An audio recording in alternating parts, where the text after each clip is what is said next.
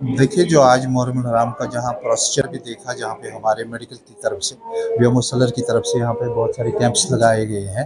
اور اس سلسلے میں یہاں آج میڈیکل جنا بلڈ ڈونیشن کا کیمپ بھی ہوا کرتا ہے۔ اور روٹین میں جو آج ہم نے یہاں پہ سٹارٹ کیا in collaboration with J M C Anant Nag یہ میڈیکل ڈپارٹمنٹ کر رہا ہے یہاں پہ۔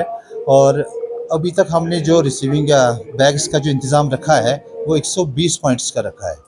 اور اس وقت تک ہم نے ستھر سے زیادہ پوائنٹس یہاں پہ ریسیو کیے ہیں ابھی تک۔ اور ہم ان جوانوں کا جو جوک در جوک اس میں حصہ لینے کے لیے آ گئے دل سے ان کا شکریہ ادا کرتے ہیں اور ایک وائڈ اسپریڈ میسیج بھی جاتی ہے لوگوں کے لیے کہ یہ کتنا ثواب کا کام کرتے ہیں اور اس حساب سے جس حساب سے یہ ڈونیشن میں نوجوان لوگ خاص کر حصہ لیتے ہیں اور جتنے بھی تیماردار بعد میں ہوتے ہیں اسپتالوں میں پڑے رہتے ہیں بلڈ کے لیے جن کو پرابلمز ہوا کرتی ہے۔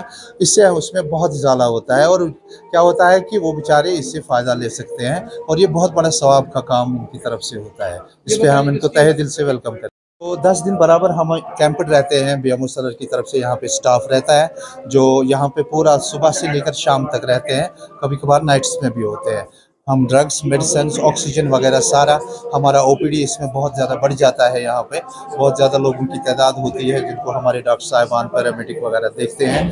تو اس سلسلے میں آج جو ہم نے خصوصی طور پر ہر ایمرجنسی ڈرگس بلڈ یا کوئی اور دوائی، ادویات ڈریسنگ مٹیریل جو بھی وافر مقدار میں یہاں پہ رکھا ہے۔ ایمبولینسز کا خاص طور پر انتظام کیا گیا ہے۔ ہم نے یہاں پہ چھ سات ایمبولینسز کو تعینات کیا ہے۔ کیونکہ ہمارے دو ہاسپٹل جس کو near by P S Cs پڑھ رہے ہیں ایٹ اسٹون اسٹرو پی ایس سی سلر بھی ہے یہاں پہ اور پی ایس سی اورا بھی یہاں پہ نزدیک میں ہے۔ اس کے بعد بھی ہم نے تقریباً یہاں پہ اسی امپلائیز کو ڈپلائی کیا ہے آج کے دن کے لیے۔ اس میں وہ برابر ان کے ساتھ روبرو چلیں گے اور ساتھ۔